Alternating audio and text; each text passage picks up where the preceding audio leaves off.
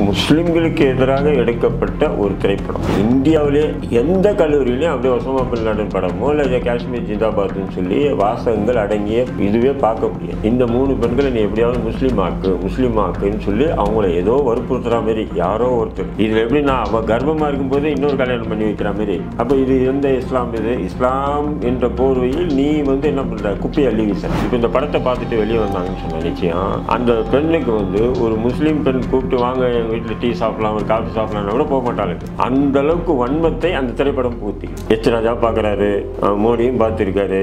அர்ஜுன் சம்பத்து வெளியே வந்து "பா, இந்த படத்தை கண்டிப்பாக பாருங்கள் கண்டிப்பாக அனைவரும் பார்த்தே ஆகணும் அப்படின்னு சொல்கிறாங்க இந்த படத்தில் இதுவரையிலையும் ராமரை அது போல கேவலப்படுத்தி நான் பார்த்ததே இல்லை. நான் என்ன சொல்கிறேன் ஒரு முஸ்லீம்களை வன்மமாக எடுக்கப்பட்ட ஒரு திரைப்படத்தை ஒளிபரப்ப செஞ்சு அதை பாதுகாப்போடு மக்களை பார்க்க வைக்கிற அளவுக்கு திமுக இருக்குன்னு சொன்னால் இதெல்லாம் வெளியில் அரசு சமூக நீதி அரசுன்னு சொல்கிறான்னு சொன்னீங்கன்னா எவன் சொன்னாலும் இனி செருப்பு கைட்டுன்னு அடிப்பேன் நான். அது என் சமுதாய தலைவன் சொன்னாலும் சரி செருப்பு கைட்டு பக்கு பக்கு பக்குன்னு அடிப்பேன் நான் இப்போ. நீ எதுனா வாங்கினா எச்ச பொறிக்க எதுனா காசை கீசை சீட்டை நோட்டை வாங்கி தொலை. அதை விட்டு இவனெல்லாம் தூக்கிட்டு வந்து நீ சமூக நீதி போராளி மாதிரி காட்டணும்னா இதோட வேற கேவலம் இல்லடான்னு சொல்லிட்டு நான் சொல்லுவேன். அதோட பாஜக கூட கூட்டணி வச்சுங்க திமுக கூட கூட்டணி வைக்கிறதோட நீ தேர்தல் ஆதாயம் பெற்று நீ ஆட்சி அதிகாரத்துக்கு வந்ததோட நட்டுக்கிட்டு சாகலான்ற இவனுங்கெல்லாம் நட்டுக்கிட்டு சாகலாம். அறம் நாடு நேயர்களுக்கு வணக்கம். இன்று நம்மோடு இணைந்திருப்பவர் தடா ரஹீம் அவர்கள். சார் வணக்கம் சார்.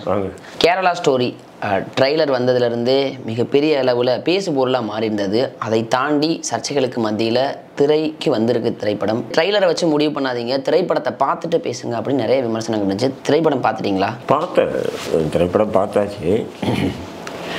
முஸ்லிம்களுக்கு எதிராக எடுக்கப்பட்ட ஒரு திரைப்படம். அந்த இயக்குனர் சுதீப் சென் என்றதோ அல்லது தயாரிப்பாளர் வந்து இருக்கிறதோ எல்லாமே வந்து ஆர்எஸ்எஸ் பாஜக தான் அந்த படத்தை வந்து தயாரிச்சிருக்கிறது தான் எனக்கு படுது. ஏன்னு சொன்னால் முழுக்க வன்மத்தினுடைய உச்சம்.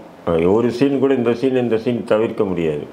ஆரம்பத்திலிருந்து கடைசியாக முடிக்கிறே இல்லையா? ரெண்டாவது வந்து அந்த இயக்குனர் ஆரம்பிச்சிட்டான். ஒரு விஷயத்தை சொல்லணும்னு ஆரம்பிச்சிட்டான். இந்த லவ் ஜியாத் சொல்லணும்னு ஆரம்பிச்சிட்டான். ஆனால் அவன் ஊடால வந்து முடிக்க தெரியாமல் அதை எதோ உழை உழப்பி கடைசியாக முடிச்சிருக்கான் படத்தை. இதுதான் அந்த திரைப்படத்தை பற்றி சுருக்கமாக சொல்லணும்னு சொன்னான். மற்றபடி வந்து பார்த்திங்கன்னா ஒரு கருத்து இருக்குது அது ஏதோ ஒரு மெசேஜ் இருக்கிற மாதிரி பார்த்தீங்கன்னா ஜீரோ எதுவுமே இல்லை. அதை போய் நம்முடைய இந்திய நாட்டினுடைய பிரதமர் நரேந்திர மோடியிலேருந்து இங்கே இருக்கக்கூடிய பாஜக தலைவர்கள் எல்லாமே வந்து ப்ரொமோட் பண்ணுறோம் ஆ சூப்பர் படம் சூப்பர் படம்னு சொல்கிறாங்கன்னா அவங்களுக்கு ஒன்றே ஒன்று தான் அந்த முஸ்லீம் எதிர்ப்பு குணம் தான் அவங்கள அந்த படம் சூப்பர்னு சொல்ல வைக்க தவிர வேறு எதுவுமே அதில் பார்க்க முடியாது. ஆரம்பமே பார்த்திங்கன்னா அந்த பெண் ஒரு ஆச்சாரமான ஒரு பிராமண குடும்பத்தை சேர்ந்த ஒரு பெண் ஷாலினி உன்னிகிருஷ்ணன் அந்த பெண். அப்படி இருக்கும்போது அவங்க வந்து என்ன பண்ணுறாங்க கல்லூரியில் சேரணும் நர்ஸ் கல்லூரியில் இடம் கிடைக்குது.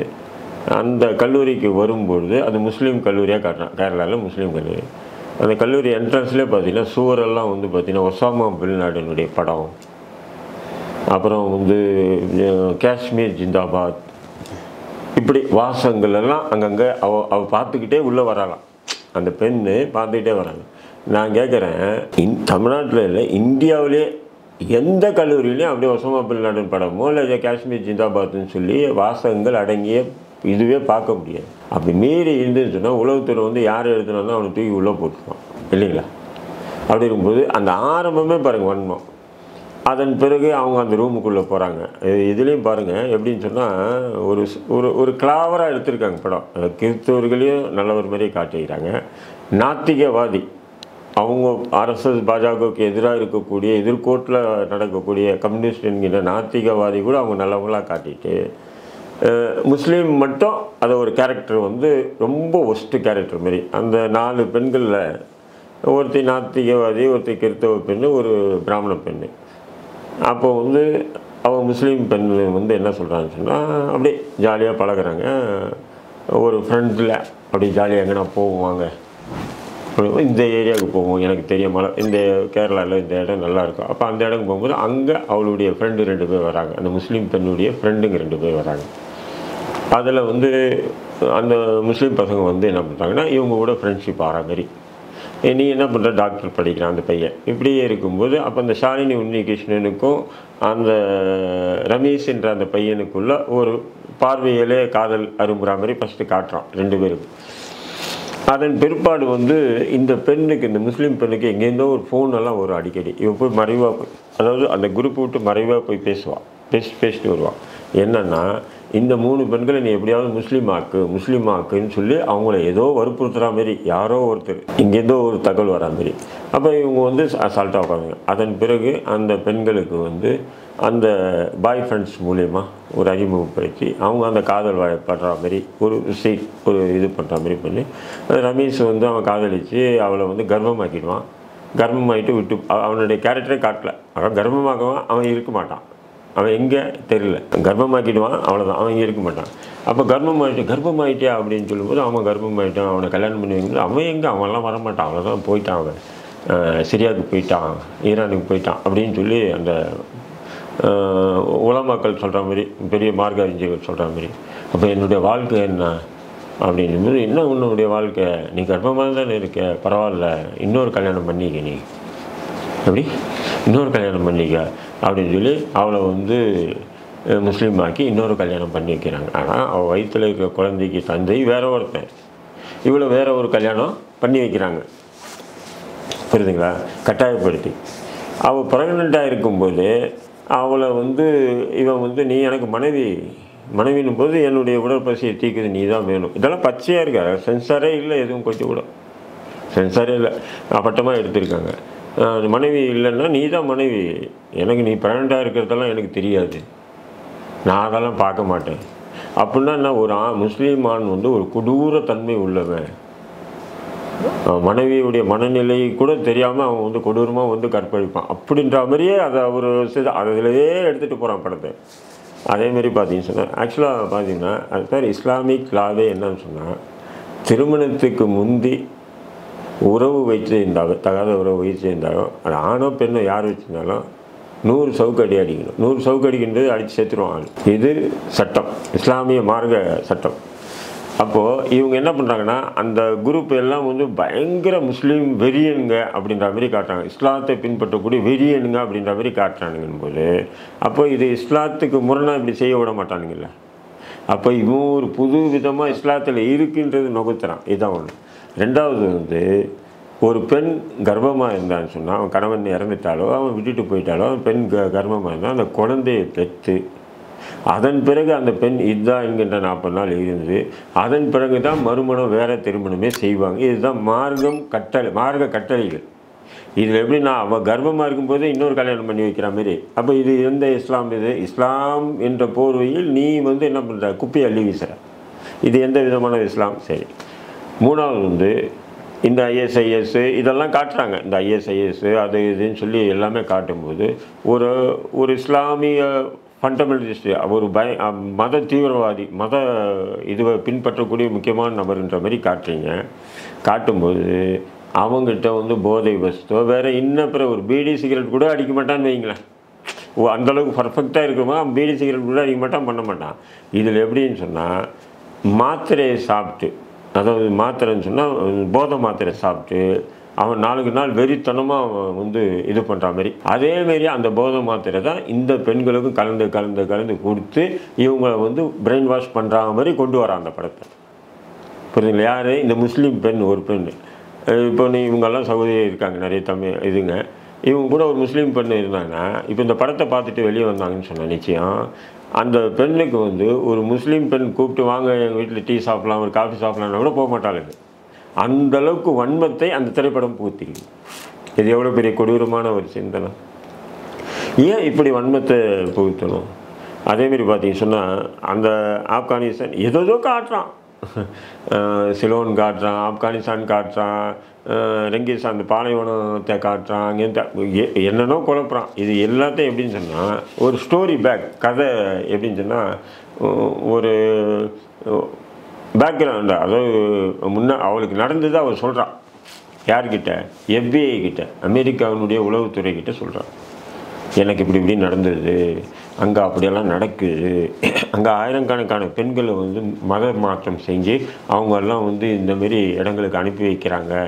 இதை தடுத்து நிறுத்தணும்னு சொல்லி இந்திய உளவுத்துறைக்கிட்ட சொல்லாம அமெரிக்கா உளவுத்துறை கிட்ட இதுதான் இந்த படத்தினுடைய படம் ஆரம்பத்துலேருந்து. இப்போ இதுக்கு நடுப்புற பார்த்தீங்க சொன்னால் இப்போ நான் உங்கள்கிட்ட ஃபஸ்ட்டே பேசிட்டேன்னு சும்மா இதை வந்து எச் ராஜா பார்க்குறாரு மோடியும் பார்த்துருக்காரு. இப்போ எச் ராஜா விடுங்க மோடி அர்ஜுன் சம்பத்து வெளியே வந்துப்பா இந்த படத்தை கண்டிப்பாக பாருங்கள் கண்டிப்பாக அனைவரும் பார்த்தே ஆகணும் அப்படின்னு சொல்கிறாங்க இந்த படத்தில் இதுவரையிலையும் ராமரை அது போல் கேவலப்படுத்தி நான் பார்த்ததில்லை நான் கேட்டதில்லை கே பார்த்ததில்லை அந்தளவுக்கு கேவலப்படுத்தப்பட்டிருக்கு. அந்த சுதீப் சென் இயக்குனர் வந்து அதில் வந்து ஒரு காட்சி. அந்த முஸ்லீம் பெண் வந்து என்ன பண்ணுவான் கேட்பா நீ நீ என்ன பின்பற்ற கடவுளை? நான் கடவுளே இல்லை நாத்திகவாதி. நீ? நான் வந்து இயேசு. சரி நீ ராமர் ராமரா? யார் முஸ்லீம். ராமரா? ஆமாங்க. ராமர் என்னங்க? சீதையை தூக்கிட்டு போகிறான் இவர் உடனே போய் கடவுள் இவர் போய் காப்பாற்றாம குரங்கு அனுமார்கிட்ட போய் உதவி கேட்குறாரு அப்போது குர குரங்கு அனுமார் தான் கடவுளா? அப்போ இவர் கடவுள் இல்லையா? அப்போ அவரே கடவுள் இல்லைன்னு சொல்லிட்டு இன்னொருத்தங்கிட்ட உதவி பார்க்கும்போது இவரை போய் கடவுள்னு சொல்லி நீ எப்படி வணங்குற? அப்படின்னு சொல்லி அந்த முஸ்லீம் பெண்ணு அந்த பெண்ணுக்கிட்ட யார்? ஷாலினி உன்னிகிருஷ்ணன் கிட்ட சொல்கிற மாதிரி ஒரு கேரக்டர் இதை இதை பார்த்தா எப்படி இருக்குன்னு சொன்னால் உண்மையிலே நான் இது வரையும் கேள்விப்பட்டதில்லை. இந்த டைலாக் நீங்கள் கேள்விப்பட்டிருக்கலாம். எல்லாருக்குமே இந்த கேள்வி எழுந்துடும் கரெக்டு தான். அவர் கடவுள்னு சொன்னால் அப்போ கடவுள்னு சொன்னால் அவர் தானே காப்பாற்றிக்கணும் அவர் ஏன் குரங்கு அனுமார்கிட்ட போனார்ன்ற கேள்வி வருமோ வராது? அப்போ இவனுக்கு வானத்தில் இருன்னு சொல்லி பழத்தில் வந்துட்டு கிடைக்கிறாங்க அதாவது அவங்களுடைய நோக்கமே என்னன்னு சொன்னீங்கன்னா இந்து மதத்தை பற்றி எங்களுக்கு கவலை இல்லை. முஸ்லீமை நீங்கள் சொன்னீங்களா அதுதான். முஸ்லீமை வெறுப்பு காட்டணும். இதுதான் அவங்களுடைய அந்த ஒரு அவங்க படத்தினுடைய இப்படி பல விஷயங்கள் நம்ம சொல்லிகிட்டே போகலாம் அந்த ஆப்கானிஸ்தான் உள்ள நுழைஞ்ச உடனே ஒரு ஆட்டை வந்து வெட்டுவாங்க. இந்த கோயிலெல்லாம் வெட்டுவாங்கள்ல ஒரே வெட்டில் சண்டை தலை. இஸ்லாம் இஸ்லாமிய அடிப்படையை யார் பின்பற்றுறாங்களோ நிச்சயம் வந்து இது போன்ற கொடூர செயலை அவனும் செய்ய மாட்டான். அறுத்து தான் சாப்பிடணும். ஆடாக இருக்கட்டும் கோழியாக இருக்கட்டும் மாடாக இருக்கட்டும் ஒட்டம் அறுத்து தான் சாப்பிடணும். அறுக்கும்போது அந்த பிளட் எல்லாம் எக்ஸ்பைரி ஆகிடும் வெளியே போயிடும். அப்போ அந்த கறி வந்து நல்லா இருக்கும். அதை கவுச்சி அடிக்காது ஒன்று ரெண்டாவது வந்து அநேக நோய்கள் பிளட்டில் தான் வந்து இருக்கும். பிளட் வெளியே போயிடுச்சுன்னா எந்த நோயும் நமக்கு அட்டாக் ஆகாது. என்ற அடிப்படையில் தான் அடுத்து தான் சாப்பிடுவாங்க இதில் எப்படின்னா ஒரே வெற்றா மாரி ஒரு சீனை கொண்டு வந்திருக்கான் இப்படி தொடர்ந்து இஸ்லாமிய பண்பாட்டு கலாச்சாரத்தை இல்லை இல்லாத ஒரு விஷயங்களை குரான் ஹதீஸில் இல்லாத விஷயங்கள்லாம் இந்த படத்தில் வந்து அடிக்கடி அடிக்கடி போட்டு இவங்க என்ன பண்ணுறாங்கன்னா இங்கேருந்து முஸ்லீம் பெண்களை வந்து க க லவ் ஜிஹாத் பண்ணி வெளிநாட்டுக்கு அனுப்புகிறாங்க அப்படின்றது அந்த கதை. இது வந்து சடனாக நடந்த மாதிரி தெரியலையே sir. Love jihad Kashmir Files இப்போ வந்து கேரளா ஸ்டோரி அப்படின்னு தொடர்ந்து வந்து இந்த அரசாங்கம் எதை வந்து காட்ட விரும்புகிறாங்க ஏன் முஸ்லீம் மக்களை வந்து பதட்டத்திலே வச்சிருக்க விரும்புறாங்க? இதனால் அவங்களுக்கு என்ன சார் லாபம்? இல்லை பாஜக வந்து ஆர்எஸ்எஸ் பாஜகவுடைய சித்தாந்தமே அதுதானே அவங்களுக்கு. அந்த சித்தாந்தத்தை இன்னைக்கு வந்து அமல்படுத்த பாருங்க. ஒரு நாட்டினுடைய பிரதமருங்க அவரே சொல்றாரு இல்ல. இதை விட வேற என்ன வரும்? நான் கூட பாருங்க நரேந்திர மோடின்னு சொல்லலை பிரதமர் தானே சொல்றேன். எல்லாருக்கும் பிரதமர் அவர் தானே அவன் நல்லவனோ கெட்டவனோ ஆ?